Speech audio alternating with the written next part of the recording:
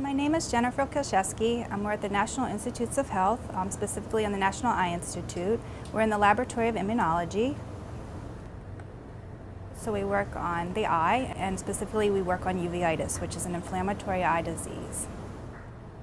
Anytime you have inflammation inside the eye, specifically in the retina or any of those um, inside tissues, that's very bad and can lead to visual distortion because people don't appreciate how important your vision is until you lose it.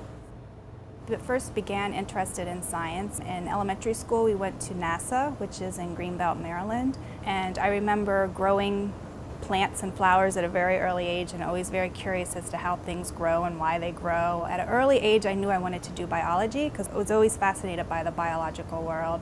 And I always asked my parents lots of questions and they always told me, well, go and research it or look it up. So I began very early always looking up things and doing a research career.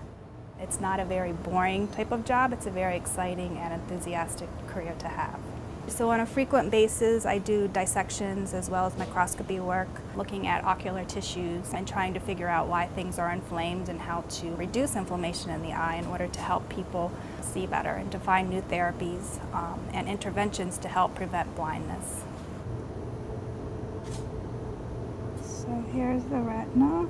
The retina is commonly inflamed in uveitis. I'm pulling it away from the eye cup.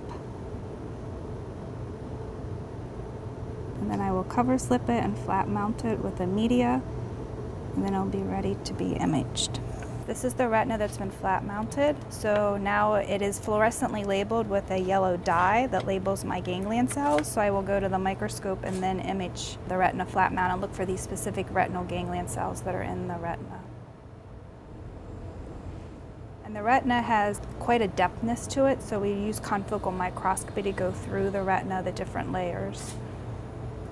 So it's a very independent career. On a daily basis, I get to plan what I get to do. Every day I come to work and I get to run different assays and look at different parameters. I don't come in and look at the computer every day. I'm constantly in the lab doing something, working with other people, collaborations, going to meetings. So every day is a new adventure. So we're studying IRBP, which is interphotoreceptor retinoid binding protein. This mm -hmm. is an mm-hmm. important um, protein in photoreceptors. So I plan to look at this in another format, maybe such as Western blotting or some type of other protein analysis. Just to conclude the, the observation from ELISA. The lab is, um, it's a serious environment, but we have a lot of fun doing what we do. Poe.